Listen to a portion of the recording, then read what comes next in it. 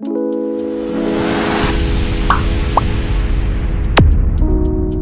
बिसमीम अल्लाम वबरकातुहू। उम्मीद है कि आप सब लोग ठीक होंगे। अल्लाह पाक अपना ख़ास रहम करम फरमाए।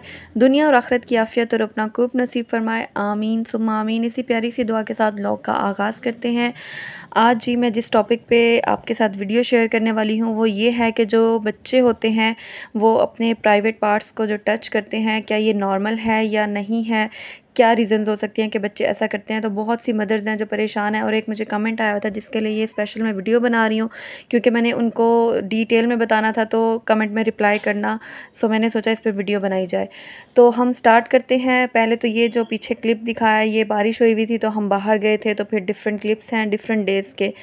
तो चले हम टॉपिक की तरफ़ चलते हैं। सबसे पहले तो ये है कि जो बच्चा है, अगर अपने प्राइवेट पार्ट को टच कर रहा है तो वो गर्ल भी हो सकती है बॉय भी हो सकता है, दोनों टच करते हैं। और ये एक नॉर्मल चीज़ है, इसमें किसी भी किस्म की परेशानी वाली बात नहीं है। बच्चा एट नाइन मंथ से सेवन मंथ से और वन टू थ्री इयर्स तक तो बच्चा अपने प्राइवेट पार्ट को टच करता है। एट मंथ से भी स्टार्ट कर सकता है।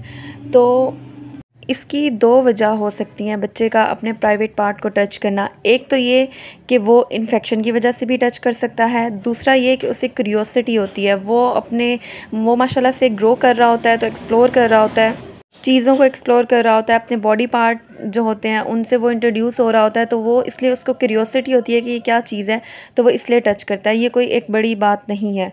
और इन्फेक्शन अगर हो तो वो किस तरह पता चलेगा? एक तो ये है कि बच्चे के रेडनेस होगी तो उससे पता चलेगा। एक ये हो सकता है कि बच्चा आ, मतलब उस जगह को हाथ लगा के बहुत ज़्यादा रोने लग जाएगा।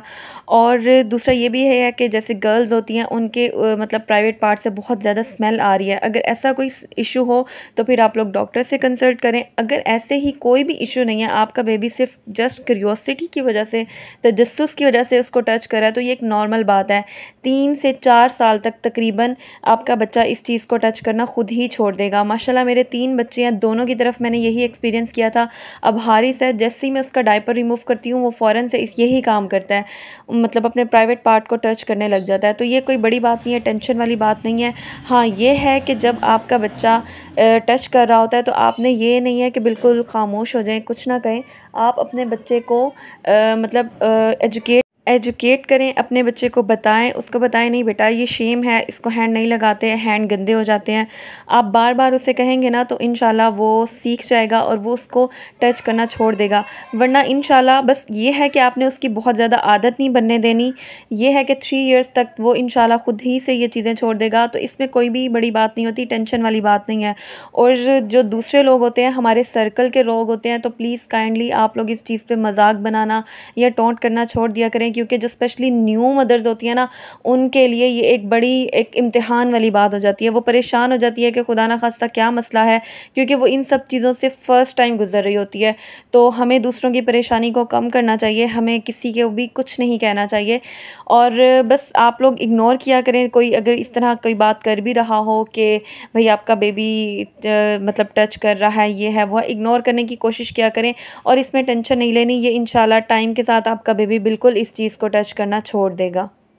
सो so, आज की वीडियो आप लोगों के लिए काफ़ी हेल्पफुल होगी। मैंने इसको रिसर्च करके फिर मैंने आप लोगों के साथ शेयर किया है।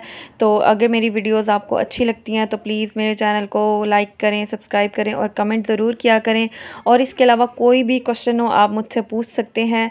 तो इन मैं उसको जैस जो मेरा ख़ुद का एक्सपीरियंस होता है जो मैं रिसर्च करती हूँ जिस पर मुझे बिलीव होता है मैं वो चीज़ें शेयर करती हूँ क्योंकि मैं नहीं चाहती मेरी वजह से किसी का कोई नुकसान हो जाए।